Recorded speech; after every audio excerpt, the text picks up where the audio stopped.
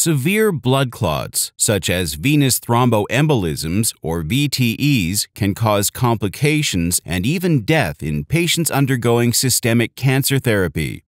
Risk assessment models can be used to identify which patients may develop blood clots, especially pulmonary embolisms or PE and lower extremity deep vein thrombosis or LEDVT. The Khorana score is the most widely used tool to predict incident VTE in patients receiving chemotherapy.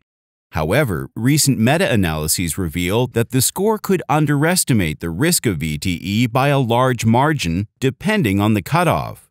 Researchers have now developed a new risk assessment model with improved accuracy using data from the Harris Health System.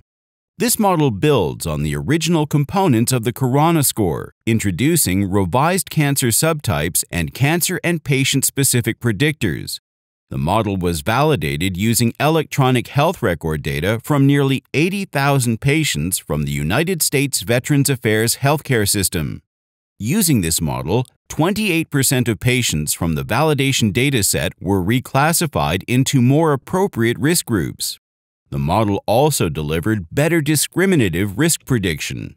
Importantly, this model accurately predicted potentially preventable VTE events among high-risk patients.